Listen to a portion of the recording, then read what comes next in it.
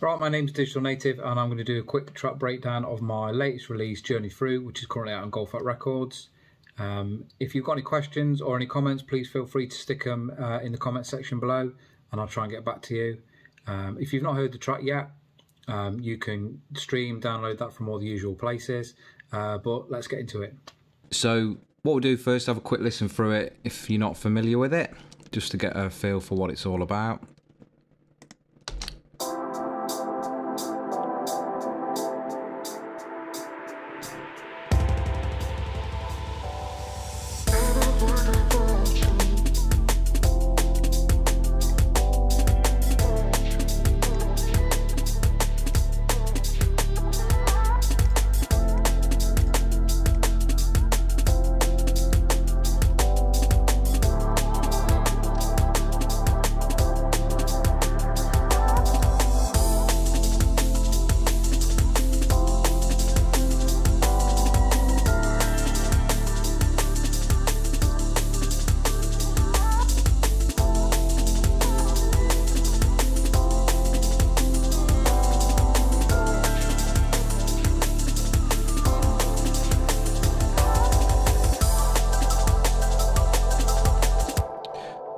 Okay, so start off by having a look at the drums. Let's have a quick listen.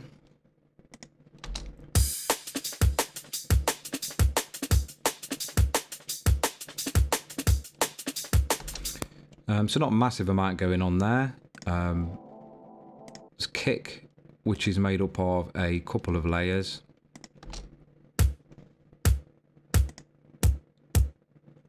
One's a bit more thuddy, The other one's just adding some tops. Um, let's have a look what's going on there. Just rolled off a little bit at the bottom. Pulled out uh, a frequency around there. Probably something that was clashing with something else or maybe it was just making it a little bit thuddy. Um, nothing drastic. And then the top layer, just taken loads of the bottom end off. Um, snare. Those are all going to a group, so I'll just solo that together. So that's made up of four parts. So clap, just adding some top end. Rim, just adding a bit of knock. One from a break which it sounds like I've like rolled off the front end, I think. Just a bit of the transients, just a bit of low and high cut. For some reason, that's got quite a bit of process on it for that one thing. I don't know why. But yeah, I've rolled off some of the transient, obviously just to stop it um, interfering with the transients and other bits. Bit of saturation. And then this is the main one, which I think is from Urban Dawn sample pack, I think. And again, that's got a bit of reverb on it by the look of it. Don't normally do that, uh, although that looks like it's turned down to zero. Might be something that's on a uh, bit of automation. Let's have a look.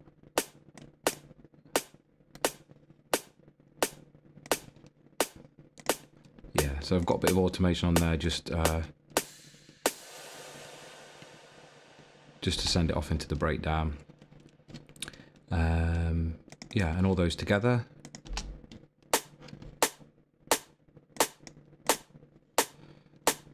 main snare group has got uh, a little bit of EQ, rolled off quite high up actually on that. Um, wouldn't always normally go up that high necessarily, but just a couple of boosts um, around about the fundamentals in there. Just pulled a little bit out there at the top or in the mids. And then I've got various uh, side chains going to different breaks or different things, so like the keys as an ARP, just to create a bit more space. After that, um, after that, there is what I'm calling the character break, which I'm not sure what that is.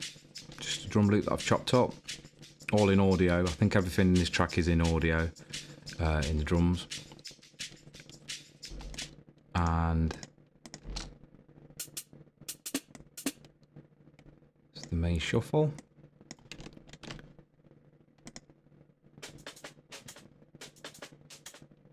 And another shuffle there. Just adding tops to that. In terms of processing, multiband shaper, obviously just tightening that up a little bit. I use these a fair bit on drums, um, or I did anyway when I was doing this. I still use it, probably not as much now, but um, yeah, I just find really good for tightening up the mids and any room sound you've got in a break.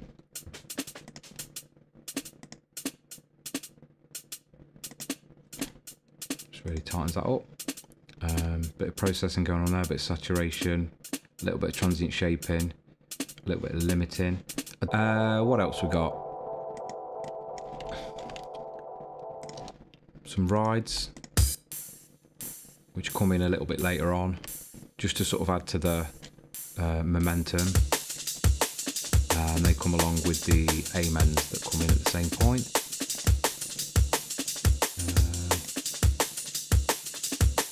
A little bit of compression there.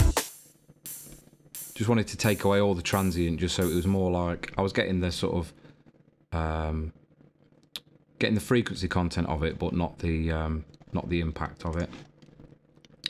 Um, like I say, yeah, sort of a bit later on, I bring in this amen, and that was just to really ramp up the uh, the energy really in the drums. And just to sort of take it off. If you listen to it with the rest of the track,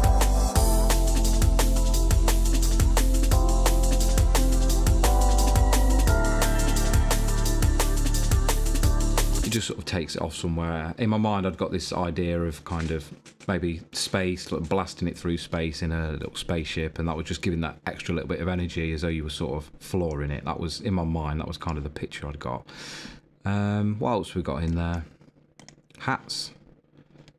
Again, nothing crazy. Rolling off low end, pulling out a nasty frequency there, and a little bit of a boost up the top. Um, Amen. That's just straight off there. I haven't even chopped that up.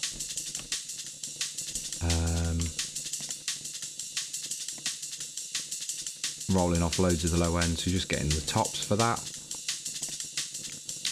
And that's got a side chain on it by the look of it, which has been side chain from the snare. Have a look if that's actually doing anything. Yeah.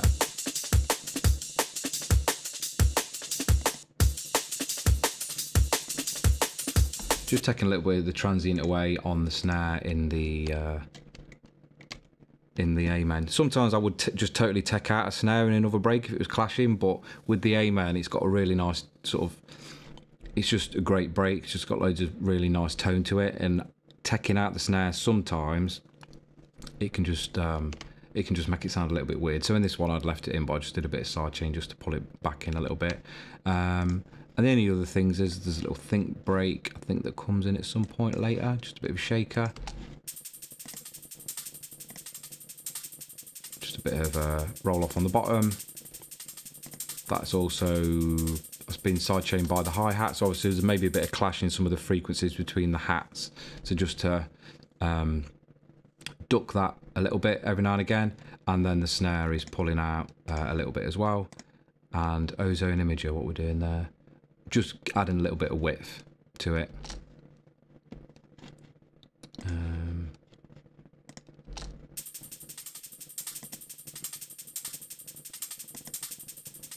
Just to liven them up a little bit. Um, I think the only thing left, apart from just like crashes and stuff, is a triangle.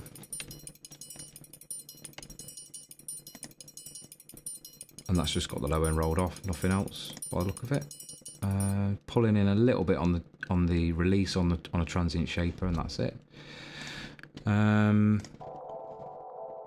just notice I've just panned that to the left There's probably a bit of panning going on as well in various different things see just sometimes just a little bit just to create a little bit of space in the center sometimes I don't tend to go wild with panning but just a little bit on some things generally not the kick and snare um, but like the top elements.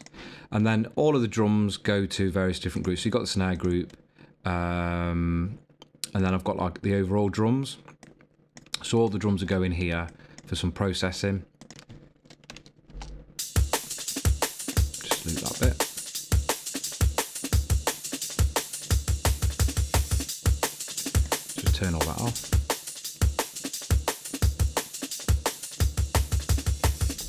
So it's just adding a little bit of um, top end really. There's a bit, little bit of compression, very light.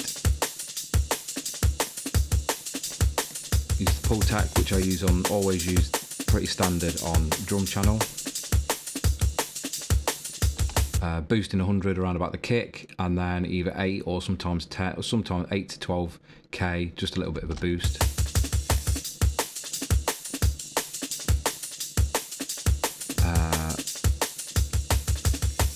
little bit of subtle saturation um, from the ozone exciter just in the top end, and I think I'm just pushing the sides out just a little bit.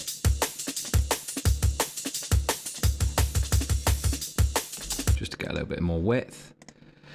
And then finally going into this EQ, which I think this EQ is just here for um, automation. So let's have a look.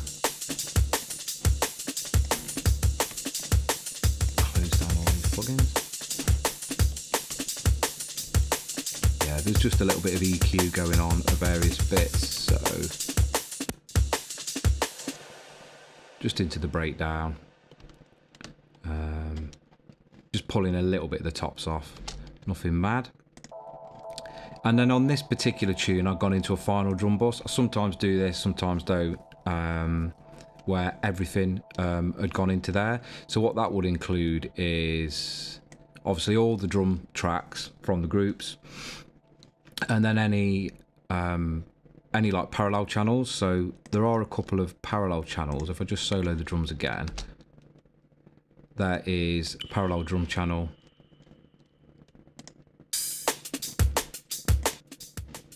which is just the drums smashed to bits. Um, and I'd put I put a limiter on it, I think, just to see if it will. It's not actually doing anything by the look of it, but that was just a catch if there was anything going over. Um, and on this one, I'd got there's some EQ on there, but that's actually bypassed. And then I'd put an EQ on here. This is a tip I'd say. I can't remember I've seen it now. Um, basically on your drum channels or on your parallel channels to have different sort of versions and um, on that the tip was to basically boost the low end and boost the highs just to really sort of give it that weight um, so that's something that I tried on this track I don't think I've done it since actually but um, that's just something I did on this track just to give a little bit more weight in the lows and the tops and then kind of pulling a little bit out the middle uh, and that's blended in with the main drums. And then there's saturation drums. I think I was trying to get a bit more crunch in the drums, but that's actually not doing anything. And then there's a drum verb as well. Um, do that. Uh, and then there's yeah, there's like a I've got that on a send. And then I'm using the stock reverb for that. I've rarely ever used this to be honest anymore. Um, I've obviously used it on this one. Um, but what I'm doing on that is rolling off the low end and then pulling out a couple of frequencies there that were may, maybe uh, like the fundamental frequencies in the drums could be around about something in the snare, something that was causing a bit of resonance in the reverb. And I tend to do that a fair bit. Is obviously always roll off something in the low end, but then it, pull out any resonant frequencies that cause those build ups.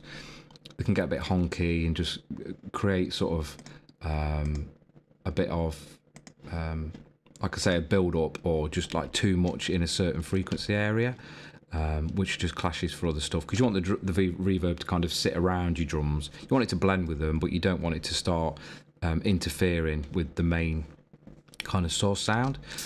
Um, and like I say, all those things then go into a final mix bus, which I then ran through Neutron Elements, which is a cool, really cool plugin actually. I use this for a few different bits. Um, you can pick this up free fairly often. I think I got this free uh, through having a Splice subscription, I think. And that's just a little bit of EQ as a final in the chain, a little bit of uh, saturation, and a really gentle little bit of compression.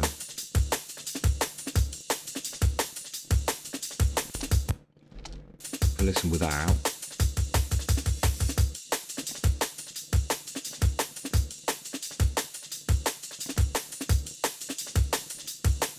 Really livens the drums up a little bit. Just makes them jump out a little bit more uh, and cut through in the mix.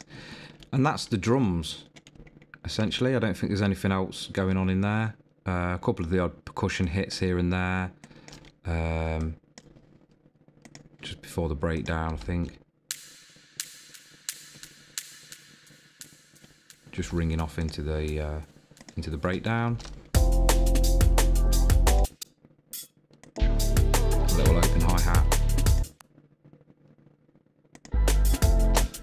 So the musical elements got a few layers in there.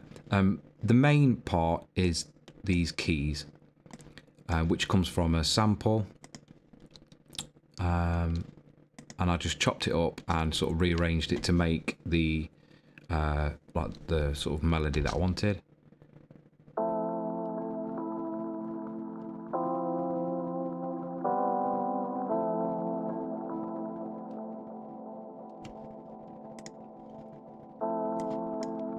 A lot of things going on on there. Um, let's just bypass all that.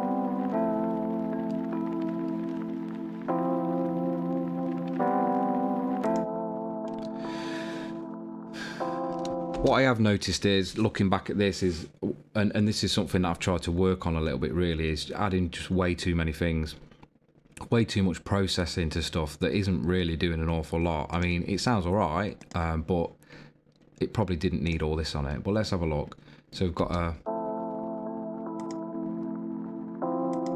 fairly steep low and high cut, and a few nasties and a bit of sort of mud coming out there. Bit of compression. Side chain from the snare. Got another low and high cut in there. Uh, let me just get and have a look. That looks like it's got some automation on it. Yeah, there's a fair bit of automation going on with things in here. Yeah, the mod machine. So these are sort of things that I've put on to kind of add a bit of interest because it can get a little bit loopy. Um, so I just added in various little bits, opening up the uh, EQ just a little bit more, a little bit more in, or just adding a little bit of like effects into the breakdowns.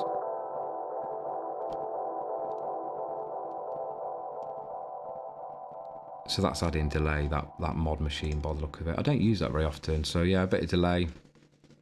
Um, just into the breakdown and stuff. Um, in the second half, I chopped it up slightly differently. Um, just, I didn't want to repeat the same thing. I wanted it to have just like a different vibe, take it off somewhere else. Sort of going off of that theme, that idea of, like I say, being it kind of some sort of space travel or something. Um, I wanted it to go off in a slightly different direction.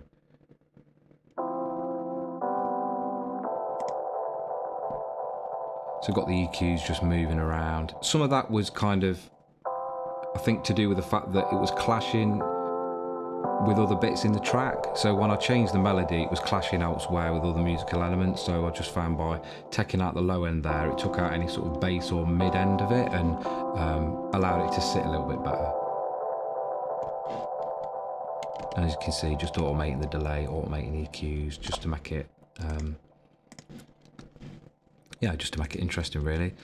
Um, other than that, uh, the rest of the musical elements, so they're just kind of uh, melodic elements, just add in a little bit here and there. Uh, I've got a little guitar riff.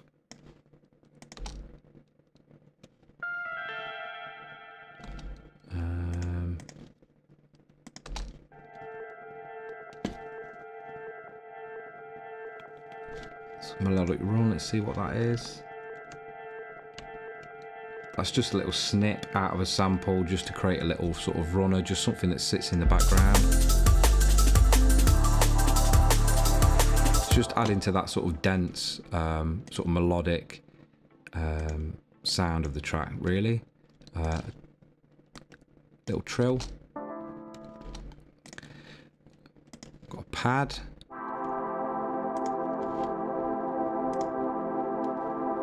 Just taking a little bit of mud out. Um, the bottom, high and low cut. Compression, which is coming off the snare, which is normally the case. looks like there's a bit of delay on there as well. Again, that's probably just like ringing out into the breakdowns and stuff. Uh, send delay level there. Um, so that's just got a massive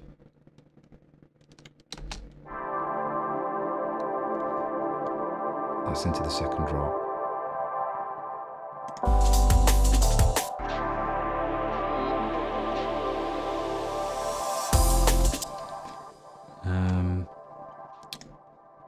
Is in there? Oh, I've got a little uh, funky little guitar loop, which I think I just chopped up and then rearranged. Let's have a look. So zoom in.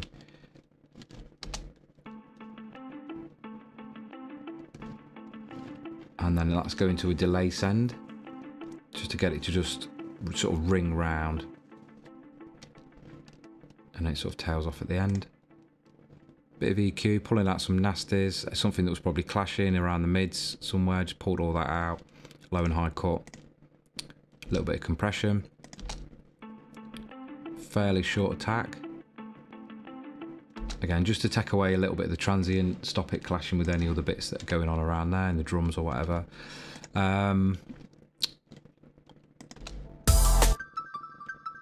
some high plinks it's called there which are coming what are they coming off? That's coming off rounds. Some really nice sounds off this. Um, don't use it masses but um, can always find some nice uh, some really cool sounds in there.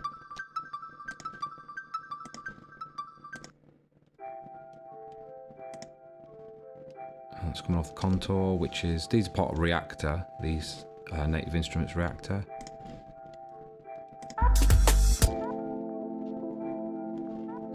just that build of build up of melodic bits really just to keep it interesting throughout. Because I say the main thing is this keys and it does you know it is very similar throughout so I wanted to make it interesting without it necessarily changing an awful lot.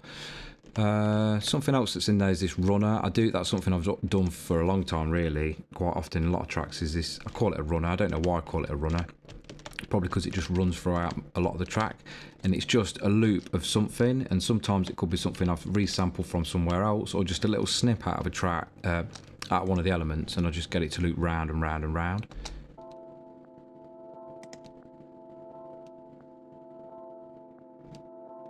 It's got a fairly severe EQ on that. And it just fills in that space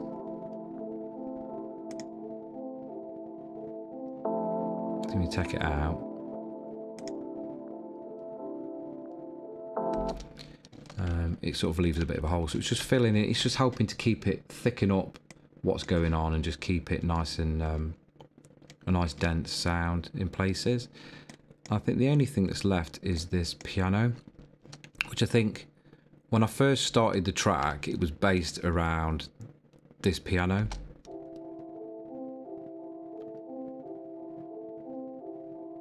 Um, and then I ended up finding the keys sample,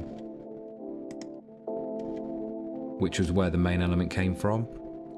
So then this just became sort of like a, a little backing part, really. Um, and then it's got a bit of saturation on it, bit of EQ, pulling out a load of mud and just sort of resonances, bit of compression and I think the way I've done this, I've got one, it says piano center and then piano main. So I'm not quite sure what the difference is there. I think just EQ'd in slightly different ways, just to kind of thicken it up again and just, yeah. Um, make it sort of gel a little bit, make it cut through a little bit. Those go into a group on their own,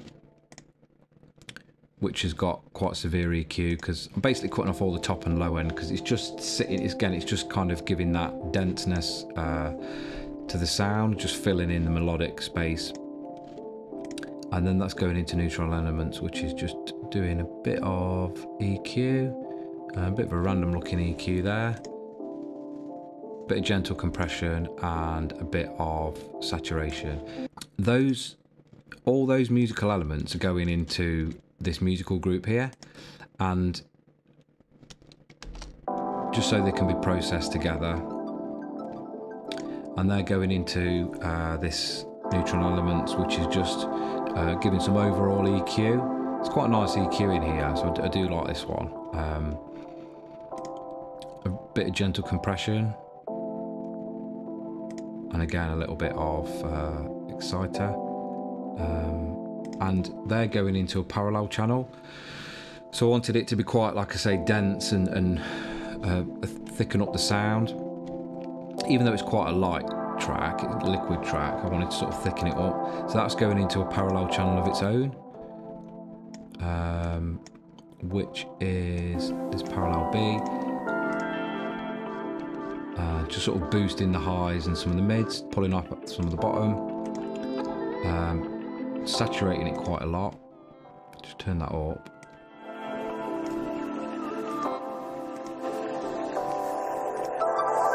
And then uh, a bit of EQ, uh, not EQ, bit of compression. Um, just slamming it really.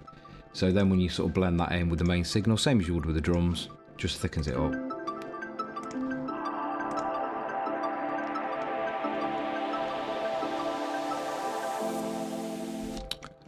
Um, and that's all the musical elements. The next bit is the uh, the vocal.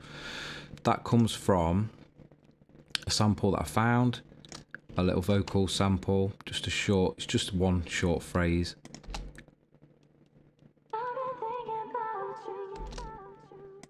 Um, it's got quite severe sort of low and high cut on it because the main part of it comes from a pitched down version. That's kind of where you get in the some of the higher end from um, in there. But like the the high one, just giving it a bit of saturation through the Kramer tape bit of de-essing.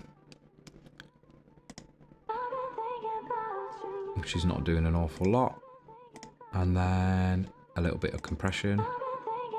Quite a lot of compression actually, taking about 6 dB off, just kind of squashing it. Because that wasn't the main one. The main part of it, because I pitched it down, was the was the low one. So I wanted to kind of squash that almost like it was in parallel with it. So just really squash it and then just layer it with it just to give that bit of um, just a bit more tone to it, a bit more definition. Um, so with it a bit less severe on the EQ, low and high cut, a couple of resonances. Again, um, I probably duplicated the channel so it's going into pretty much the same things, probably doing a little bit more. Yeah. So it's taking a bit of the heart, taking a bit of the uh, S's off at the top.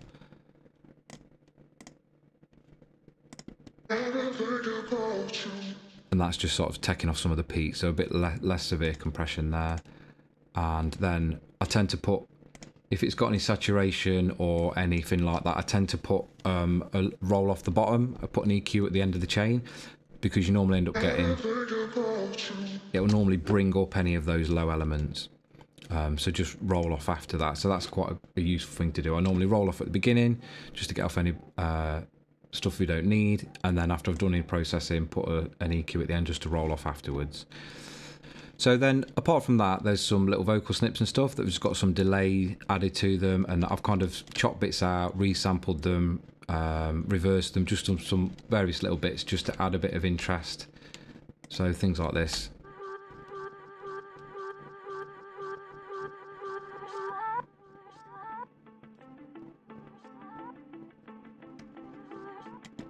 It's just little things like that, just adding into the little bit of ear candy, things that are going on in the background. It doesn't make it too busy, but they're all kind of, because they're all coming off the main element of the vocal, it just kind of sits and helps it to sort of uh, gel it together as one thing. So you just haven't got that one vocal sample repeating. No processing on that by the look of it at all on the vocal group. Uh, and then after that is then the effects and ambient bits, which all go to a group as well.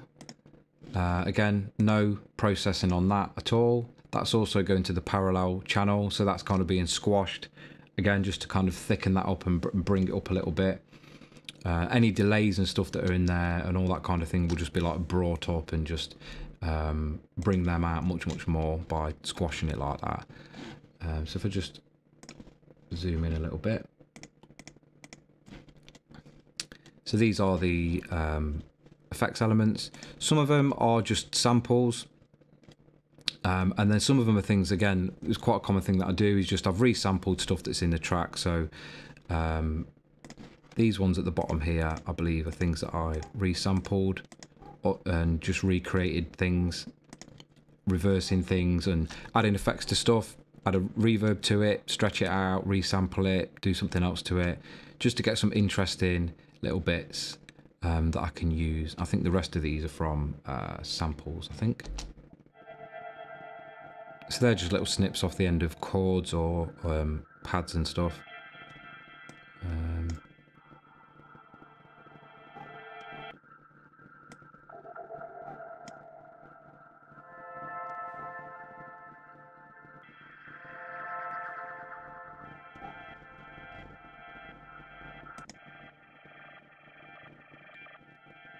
that's just that's definitely something that I've resampled. So it says live resample record. So I've obviously recorded that into another track whilst playing around with something.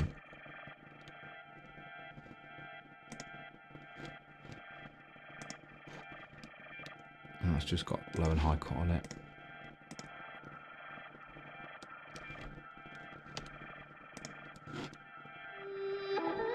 So I've just got a little guitar riff.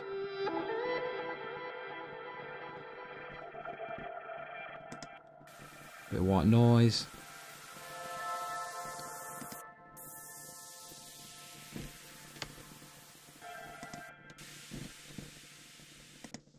Got a bit of a water sort of foley sound in there. Yeah, nothing, get nothing earth shattering. Um, and probably not a great deal of processing on anything by the look of it. Probably just low cuts here and there the odd frequency or just totally sort of taking out top and bottom. Um, all that stuff's just there to add that kind of depth, add depth to it really. Um, and the final part of the track is the bass. So the bass is relatively basic, I think. I think it's yeah, it's just coming off massive. Um, just turn all this off.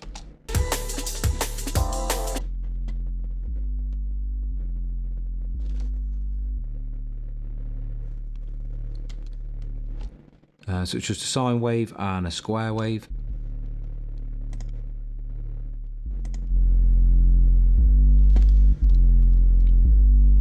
A bit of saturation,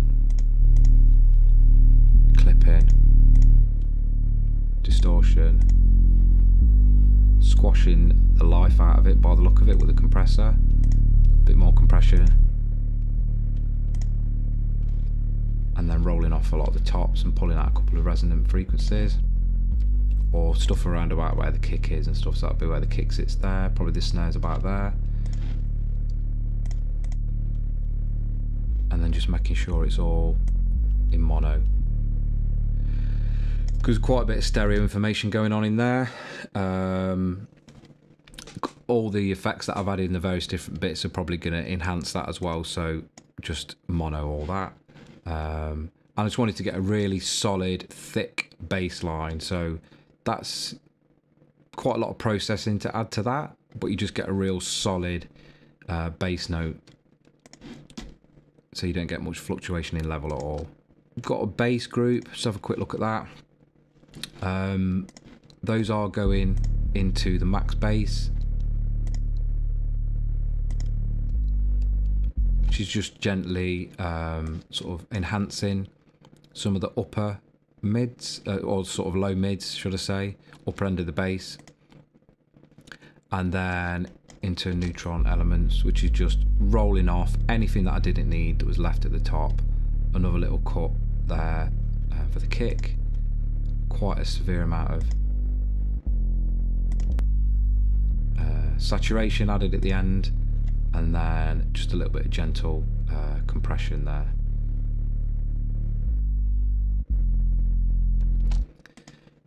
Yeah, so there's probably quite a few bits in this um, looking back that I've, I've over processed maybe. So I would say that's something that's worth looking out for. Um, don't feel like you need to over process things. Sometimes you can find yourself in a point where you're just add in more and more effects and processing to things um, unnecessarily. So if it's a creative thing, then you know generally that's fine. But Um, sometimes I think you can go overboard. And I think there's a couple of bits in this. If I was to do this now, because I've made this, this was probably, I think I started this back in 2019. Um, there's a few bits that I probably wouldn't do in this, um, in my current workflow and what I do now. Thanks for watching. Hopefully you found something useful in there. Uh, again, as I said, if you've got any questions or comments, stick them below. If there's any videos you'd like to see me do or anything particular you'd like me to cover, then let me know. I want to start trying to get a little bit more content up on here over the next few weeks, months. So please do let me know. Um, if you haven't heard the track in full yet, you can go and find that in the usual places Spotify, Bandcamp, uh, Beatport, all the usual places. And if you want to come and find me on the socials, then I'll stick links in the description below. All right, cheers.